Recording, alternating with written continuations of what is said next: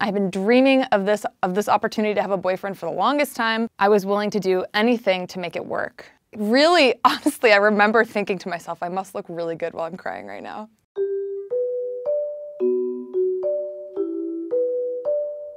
Hi, I'm Merle, and today I'm going to be talking to you about how I learned to move on. The story starts with my first relationship. I was 17 years old. I didn't have any dating experience in high school. I was actually quite an awkward child for a very long time. I was also taller than everyone, so uh, that could be tough. This was over a summer, right? The summer after my senior year of high school. I was about to go off to college. I had been dreaming of this, of this opportunity to have a boyfriend for the longest time. It was very exciting for me. So I was fully in it with this guy. And you know, it was very passionate because it was my first love. I gave 125%. I didn't really expect much from him. He was he's a great guy, but you know, he didn't know how to be a boyfriend, just like I kind of didn't know how to be a girlfriend, but I was better at it than he was. Anyway, so very passionate, very sweet. We opened up to each other a lot. I was convinced that this was like something very special and something that only I was experiencing. And um, I was willing to do anything to make it work. Honestly, I feel like I was like the catch whatever. Uh, so I was like, he, you know, he's gonna wanna put in everything he can to, to make this thing happen. Because when you're in your first relationship, in your first love, you don't believe they're going to end. Yeah. Um, so it was like this magical summer. All kinds of things were happening. I felt like I had this like once in a lifetime love and then the summer came to a close he had been pretty honest with me that he wasn't willing to do long distance because he didn't think it would work, but I kind of thought I could talk him into it. You can't. And you shouldn't. You should never have to talk someone into dating you. It doesn't work.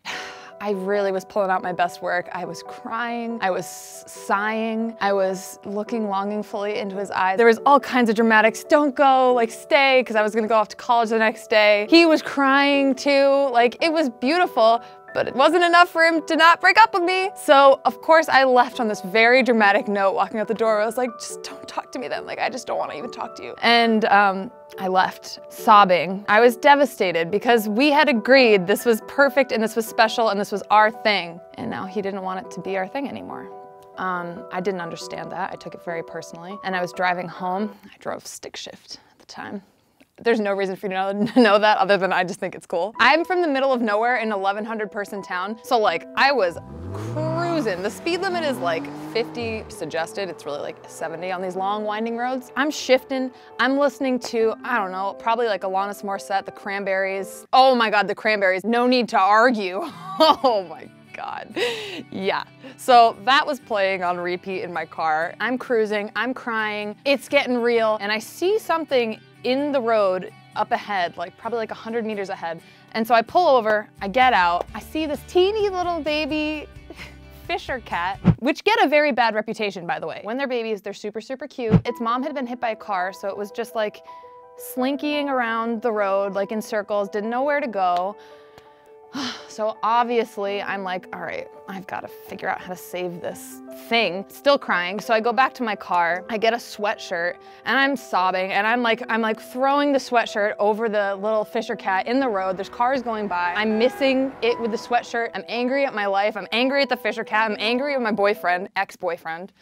And finally, I'm like, I'm throwing it over this thing, throwing it over this thing. I'm like, they could have rabies, I don't know. And I'm just like mortified and I'm so upset and it feels like everything's gonna end and I have to go to college and I don't wanna go to college. I don't wanna start over. I don't wanna have new friends. Finally, I'm like, all right, the sweater method isn't gonna work. I'm gonna go back to the car. I'm gonna call my mom, have her help me. She's like, I'm on my way.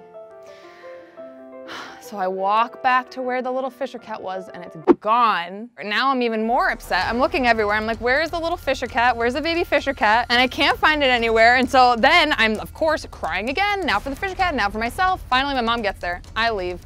We go home. Can't find the Fisher cat. I'm devastated. Cry to my mom all night. The next day I have to go to school. My mom and I are driving down that road and I'm just thinking about how things are not gonna get better and I don't like what's happening, and then we go by where the Fisher cat was. And I could see the spot where the mom Fisher cat got hit, and then I see the baby Fisher cat dead in the road.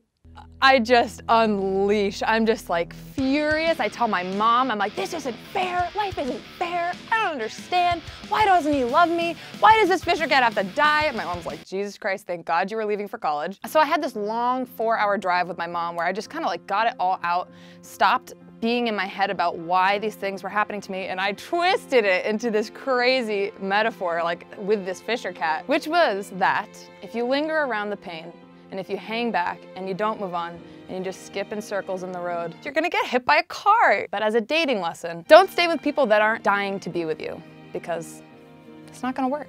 I think the lesson of moving on has been the most pivotal one for me because things aren't gonna go your way. People aren't gonna love you enough. But as long as you do, it's okay.